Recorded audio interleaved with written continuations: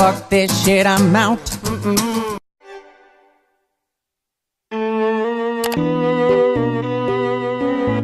That was easy.